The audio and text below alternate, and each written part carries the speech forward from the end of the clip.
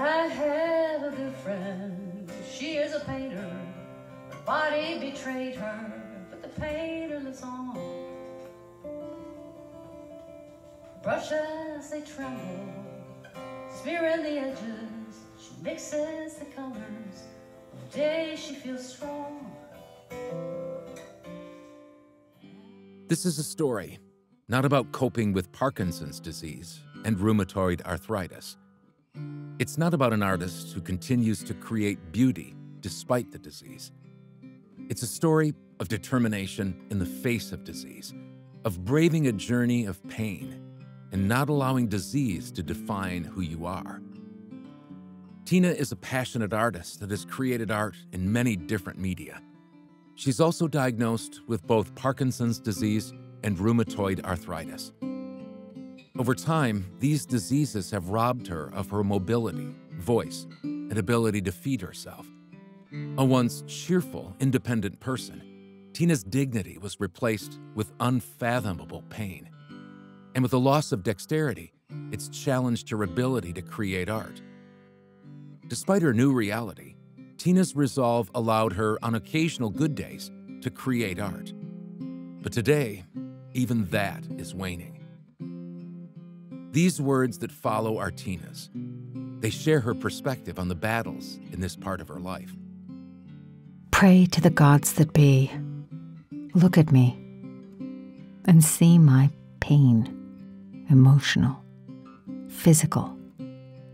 Pain so far and away greater than ever imagined possible. Tina has fought the progress of her diseases with attitude, technology, and support, but she's still losing the battles. The toll is in her ability to manage daily life. Days have distractions. Family, friends, and caregivers are her support network. Playing bridge, where Tina is a bronze life master, and these days, brainstorming art when she can't actualize it. And her nights, only Tina can describe the pain. I hate and dread the night.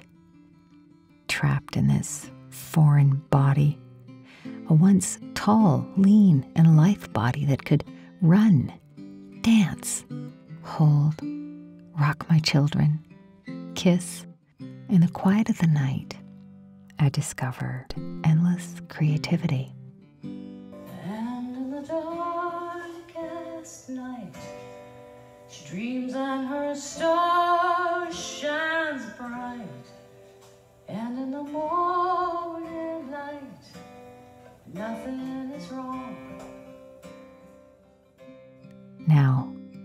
helpless. I can no longer even turn in bed. More phantom smells, more noises. I'm lost and lonely in my solitary world.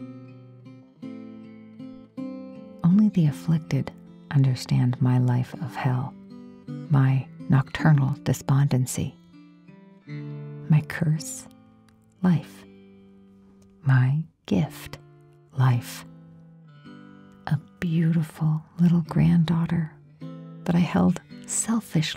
first time. Don't hug her all to yourself, they admonished. You have years to hold her. I may never be able to hold her again. She's proud in the saddle, no matter how much she's hurting. She drinks her black coffee, puts her boots on, and rides. And in the darkest night, she dreams and her stars the morning light, nothing is wrong. Once an artist of detail, now left with two semi functional fingers.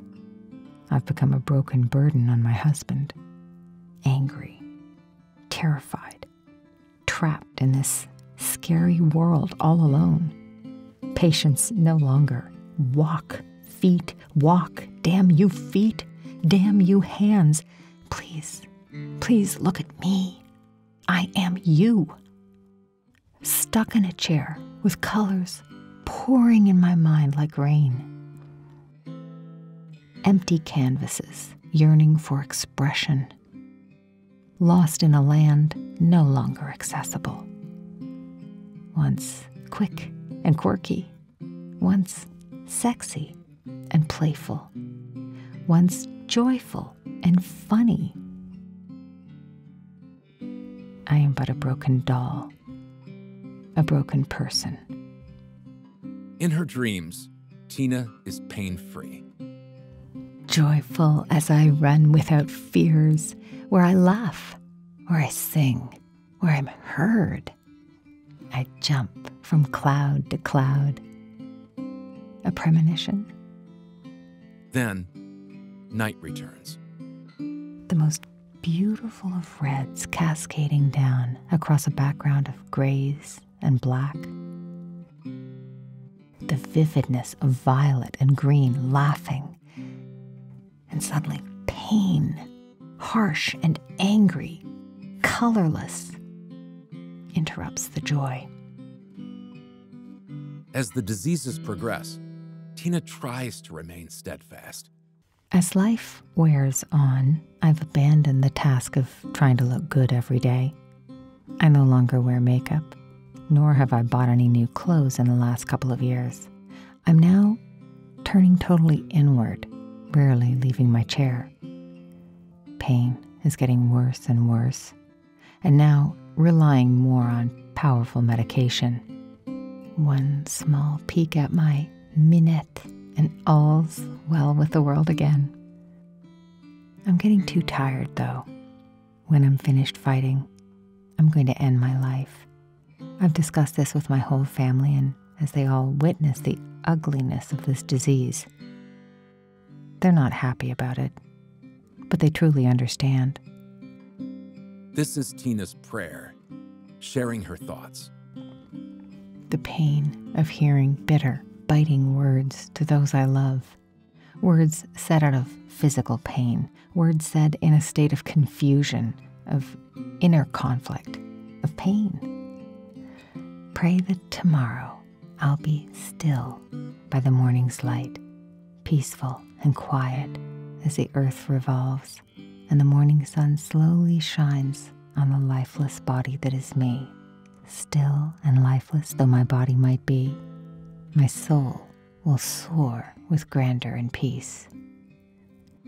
Living eternally through lives I'm humbled to have touched, and the endless who have touched mine. My body whole again.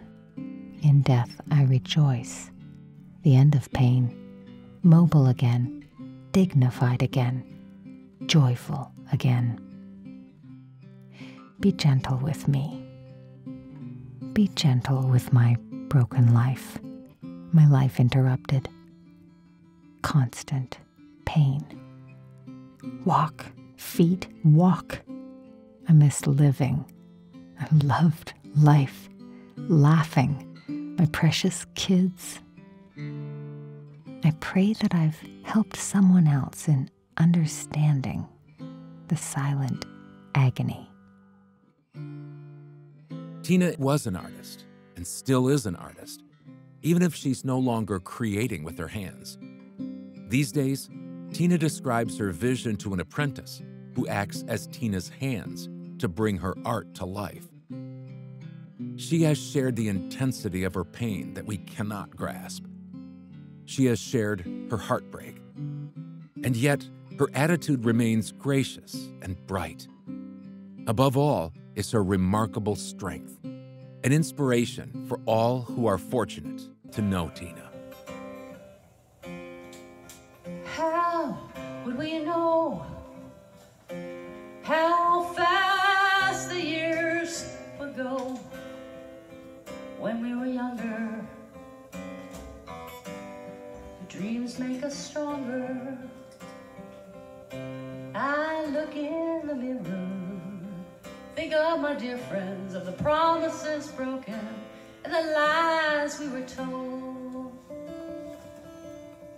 We keep on believing, lifting each other, cause in this good life, dreams never get old.